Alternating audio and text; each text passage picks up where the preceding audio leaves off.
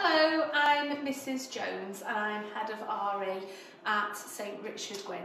So I just want to spend a couple of moments talking to you about the religious studies course that we offer here for A-level. At A-level here we study Christianity, philosophy and ethics and it is a really engaging course and an engaging qualification.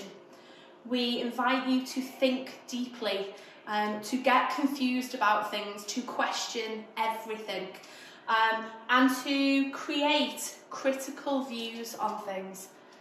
It's a highly academic course and it's really, really useful for lots and lots of university courses. So if you're thinking about going into teaching or youth work or journalism, uh, the prison service, the civil service, government medicine or law, then this is a course that you should give serious consideration to. As I said, it encourages you to develop an interest in philosophy, so thinking about the meaning of life, what are we here for, why do we exist? Ethics, so why do we make decisions? How do we know what's right, what's wrong? And key fundamental beliefs in Christianity. We encourage you to adopt an inquiring, critical and reflective approach to the study of religion. So I'll talk to you a little bit more about that in a second, some of the topics that we cover. But also as well, we hope that you reflect and develop your own attitudes, your own opinions uh, and your own values. So these are, as I said, the course is split into three parts, philosophy, ethics and Christianity. And these are some of the things that we study throughout the course. So some of the questions in philosophy, why do people believe in God? How was the universe created? Was it the Big Bang? What created the Big Bang? Why is there suffering in the world?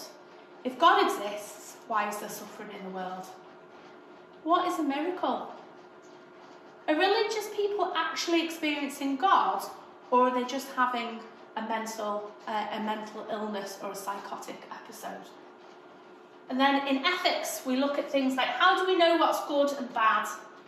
Are we actually free to make our own choices, or is everything predetermined for us? Is it always possible to do the most loving thing? How do we even know what that is? And is it okay to have a polyamorous relationship so to have more than one husband or wife.